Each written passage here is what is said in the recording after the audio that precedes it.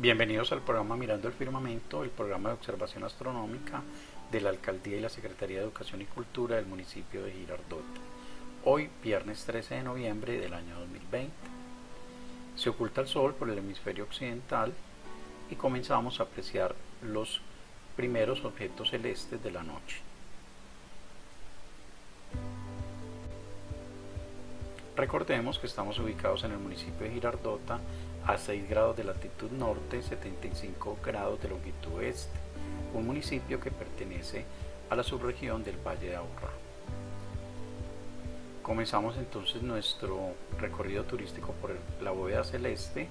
Identificamos inicialmente la estrella Vega de la constelación de la Lira. Utilizamos nuestro software astronómico formamos las figuras de constelaciones, identificamos las constelaciones y allí pueden ver la constelación de Hércules en el hemisferio norte y sobre ella la constelación de, la Lira, donde vamos a identificar a la estrella Vega. Vega es una estrella interesante ya que hace parte de lo que conocemos popularmente como el asterismo del triángulo de verano, eh, con las constelaciones del águila, la constelación del cisne. Vamos entonces a identificar la estrella Vega, pero antes identificamos el cúmulo globular M13 en la constelación de Hércules, una agrupación eh, muy densa de estrellas que se localiza a 25.117 años luz, visible con pequeños binoculares y telescopios, fácilmente de ubicar en la bóveda celeste. El cúmulo globular M13 en la constelación de Hércules. Dejamos este cúmulo y ahora sí vamos a pasar a identificar la estrella Vega, la estrella principal de la constelación de la Lira. Activamos la, estrella Vega. Esa estrella se localiza a 25 años luz, es una estrella fácil de, de identificar con ayuda del mapa celeste. Identificamos la estrella Altair del Águila, la estrella principal de esta constelación y la estrella de Neb del cisne o la cola del cisne. Uniendo estas tres estrellas con ayuda, con ayuda de líneas rectas, formamos un gran triángulo en el firmamento, conocido popularmente como el triángulo de verano. Dejamos a la estrella de Neb o la cola del, del cisne y vamos a identificar la estrella Albireo. Albireo se localiza a 385 años luz es un sistema doble. A simple vista veo uno, una estrellita, un componente, pero los pequeños telescopios me van a mostrar dos estrellas. Realmente son dos estrellas que por acción de la gravedad giran con respecto a un punto físico llamado baricentro. Tenemos entonces la estrella Albireo o el pico del cisne eh, en el hemisferio norte. Dejamos Albireo y vamos a identificar en la constelación de la Lira la nebulosa M57. M57 es un objeto llamativo, es una nube, una gran estrella, en su momento colapsa, libera material, libera gas, quedando en el interior de esa nube gaseosa una pequeña estrella muy masiva. Vemos el anillo gaseoso como si fuera un, aro eh, y en el centro de ella hay una pequeña estrella. Identificamos entonces a M57 en la constelación de Lira.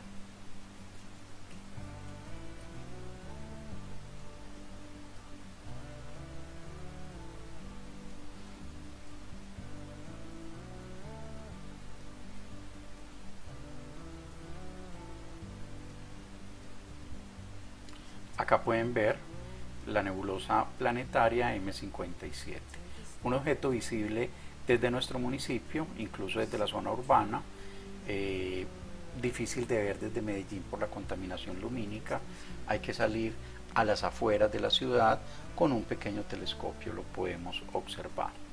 M57 en la constelación de Lira, pasamos entonces ahora a seguir nuestro recorrido turístico por el firmamento, vamos a encontrar entonces en el hemisferio norte la constelación de Cefeo, la constelación de Casiopea, el dragón y la constelación de Perseo.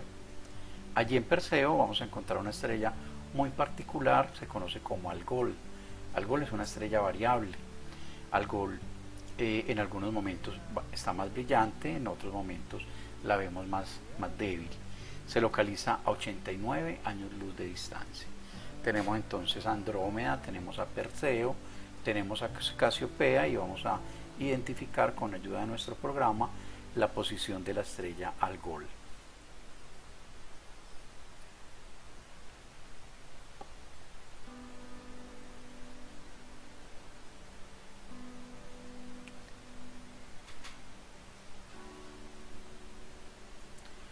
identificamos como tal la constelación de Perseo y la posición de Algol. Dejamos esta particular estrella también en el día de hoy a las 7 de la noche si las condiciones climáticas son favorables es visible la galaxia Andrómeda. Andrómeda es una galaxia, una galaxia vecina a nuestra galaxia la Vía Láctea que se localiza a 2.5 millones de años luz. Quizás el objeto visible a simple vista más lejano que podamos captar.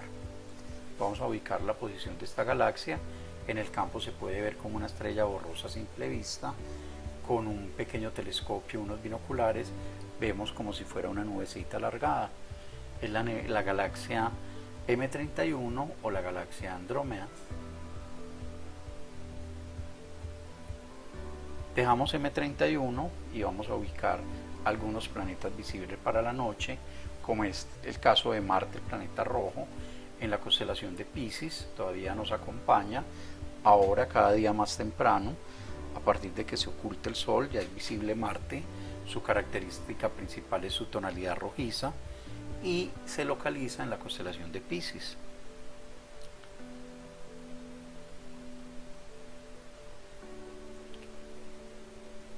También es visible el cúmulo abierto M45, conocido popularmente como las Pléyades. Este cúmulo se localiza a 440 años luz de distancia. A simple vista observamos siete estrellas. Realmente el telescopio cuando observamos a M45 el campo de visión es lleno de estrellas. Aproximadamente 400 estrellas conforman este cúmulo abierto, este grupo de estrellas jóvenes. M45, las Pléyades o popularmente también las conocemos como las siete cabritas. Dejamos M45, vamos a seguir observando algunos planetas como Júpiter y Saturno que también son visibles luego de la puesta del Sol. Estos dos están en, en la constelación de Sagitario. Hacemos un acercamiento hacia el planeta Júpiter.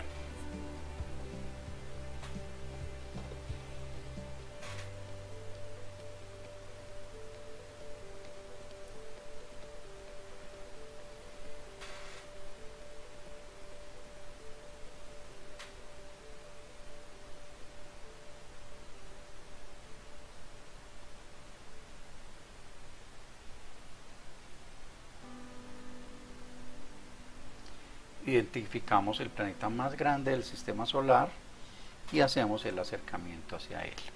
Júpiter es un planeta gaseoso, está localizado en la parte externa de nuestro sistema solar.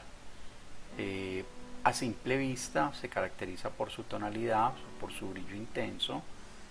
Cuando miramos a través de un telescopio podemos identificar cuatro de sus principales satélites.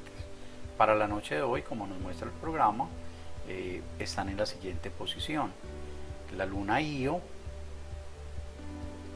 la luna Europa,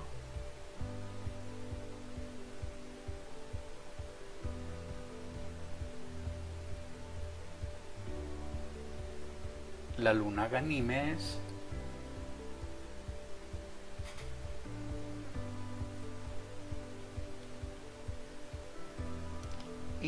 Calisto. El término luna realmente está mal, mal planteado. Técnicamente son satélites naturales. Popularmente las llamamos las lunas de Júpiter, pero luna solo es una y es el satélite natural de la Tierra. Entonces dejamos al planeta Júpiter con sus cuatro principales satélites, visibles con un pequeño telescopio dependiendo de la noche y del momento de observación, vamos a ver que ellos se mueven con respecto al planeta Júpiter. Ahora visitamos a Saturno, la joya del firmamento, identificamos su sistema de anillos. Recordemos que son millones de rocas que giran con respecto al planeta Saturno. Este conjunto de, rocas en, este anillo se puede, se puede visualizar con un pequeño telescopio desde acá, desde la Tierra. Dejamos a la joya del firmamento, vamos a visitar la constelación de Tauro.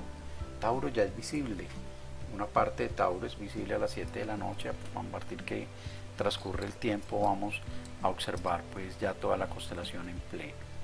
Vamos al cielo de las 10 de la noche aproximadamente y vamos a identificar eh, una nebulosa muy interesante que hay en esa constelación llamada la, nebulosa del cangrejo o M1 pero antes de hacer ese recorrido, entonces esa visita, vamos a hacer un recorrido por el aspecto del cielo. Encontramos la constelación de Pegaso, eh, el caballo alado en el cenit, la constelación de Capricornio, la constelación del pez austral, la constelación de la grulla en el hemisferio sur, la constelación de eh, el cisne, la constelación del delfín, la constelación del lagarto, entre otras. Nuestros antepasados formaron estas figuras, representaron héroes, dioses, animales e instrumentos en el firmamento, uniendo las estrellas mediante trazas, mediante líneas. Visualizaron, imaginaron y representaron estos, estos instrumentos, estos seres, estos dioses. Acá ya tenemos entonces el aspecto a las 10 de la noche, la constelación de Tauro, la constelación de Orión, la constelación de la Liebre, la constelación de Géminis, la constelación de Auriga o el Cochero. Vamos entonces a pasar a identificar la posición de la nebulosa El Cangrejo o M1. Recordemos que esta nebulosa es conocido como un remanente de, de, una supernova, el colapso de una estrella, por allá en el año de 1054, y es visible con un telescopio a las afueras de la ciudad, un telescopio 8 pulgadas, la hemos registrado, la hemos observado. M1, la nebulosa de cangrejo en la constelación de Tauro. Esta nebulosa se localiza a 6.524 años luz y tenemos cerca de ella la estrella Zeta Tauri, la cual localizamos a 400 años luz. Vamos a pasar a la constelación de el cochero o auriga a identificar tres cúmulos de estrellas, tres agrupaciones estelares. Son agrupaciones fáciles de ver con binoculares como es M36, M37 y M38. Recordemos que ese M significa que es un objeto del catálogo MCR, el objeto 36, 37 y 38. Acá tenemos a M36, una agrupación de estrellas jóvenes. Podemos decir hay 5000, podemos decir hay 2000 estrellas. Este cúmulo se localiza a 4240 años luz visible fácilmente con binoculares desde las afueras de la ciudad. Dejamos a M36 y pasamos entonces ahora a observar a M37. M37 se localiza a 4511 años luz. Igualmente es un cúmulo de estrellas jóvenes, es un cúmulo abierto como se conocen, el objeto 37 en el catálogo MCR. Y M38 a 4240 años luz, un cúmulo llamativo. son tres cúmulos que vale la pena eh, cazar con pequeños telescopios cuando estamos iniciando la observación del firmamento. Acá está la, posición con respecto a, la, a, los cuernos de Tauro dentro de la constelación de Auriga o el, o el Cochero. Dejamos eh, estos tres cúmulos y vamos a pasar quizás a uno de los objetos más conocidos por todos los aficionados o los observadores del cielo cuando comenzamos a, conocer, a conocer las estrellas, a conocer estos objetos que prácticamente son invisibles al ojo, al ojo desnudo, como se, dice popularmente, y es la nebulosa de Orión. La nebulosa de Orión es una nube de gas donde se forman estrellas, eh, es un objeto visible a simple vista desde el campo, hemos activado las líneas de constelaciones, las desactivamos en un momento, eh, pero vamos a entrar a visitar la constelación de Orión. Allí se localiza esta nebulosa, es una nebulosa, una nebulosa interesante porque es visible a simple vista eh, a las afueras de la ciudad. La hemos localizado M42 en la constelación de Orión, popularmente conocido como la nebulosa de Orión, se, se, localiza a 1343 años luz. Es un objeto interesante en fotografía, muy llamativo con binoculares en la constelación de Orión.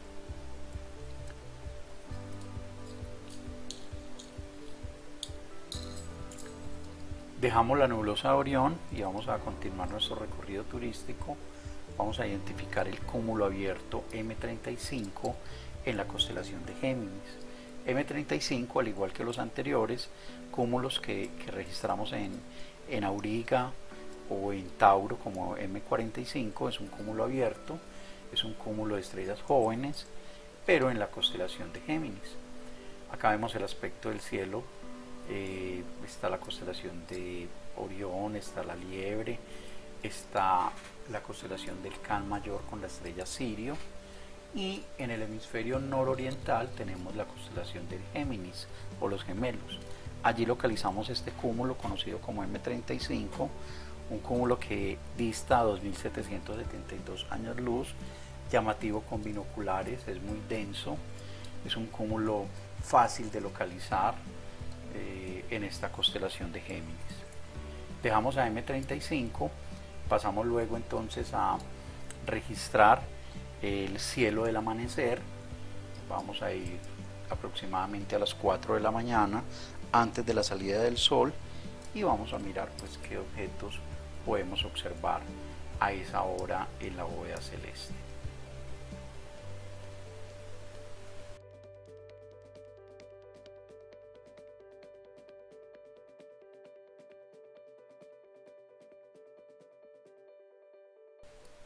Acá tenemos el aspecto del firmamento, tenemos entonces la posición de la constelación de la Osa Mayor, de la constelación de Leo, que ya es visible en el cielo del amanecer, la constelación de Cáncer, la constelación de el Cuervo, la Copa, la constelación de Virgo.